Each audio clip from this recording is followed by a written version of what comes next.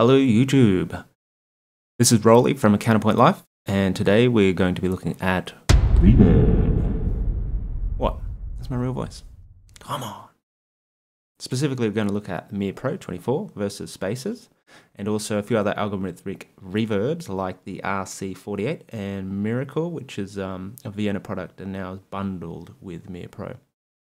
And I should say that these tracks are not finished products. There's no EQ on them, there's no compression.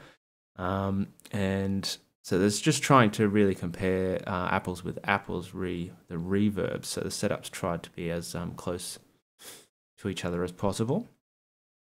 If you want to jump ahead, this is a pretty long video, I get that. Uh, the timings are up on the screen there, so you can just click on the one that you want to have a listen to. Um, I'm just going to yabber on here about some background stuff, um, but you can see there that there starts off with a reference audio and then um, the various different setups.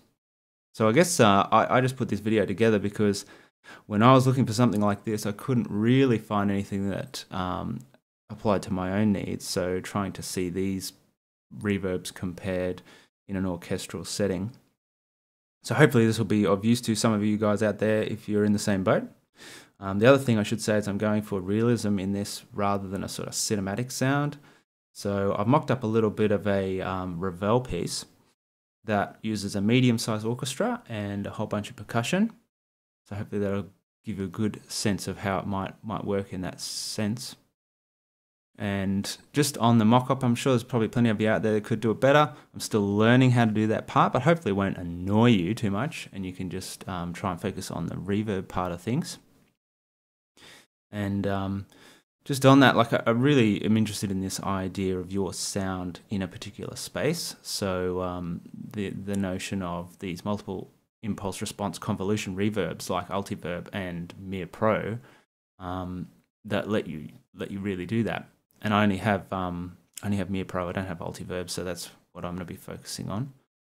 Um, and I think they're really great because you get huge amount of flexibility um, with setups like mic setups uh, and and working within a space.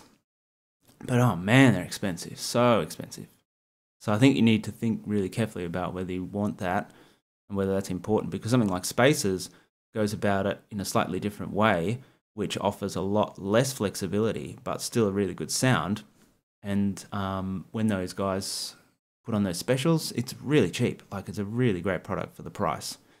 And I think that's something that East West have done um, for a long time, made really competitively priced products. So it's a good option. I've also thrown in there some algorithmic reverbs because I really like the sound that these these produce, and they also are quite cheap and give you a whole bunch of flexibility. So I've put in there uh, a couple of those just to compare it against the convolution reverbs. Anyway, we're going to get into it. So starting off with reference audio that you can come back to as you listen to the different setups and um, see how it sort of compares. All right, here we go.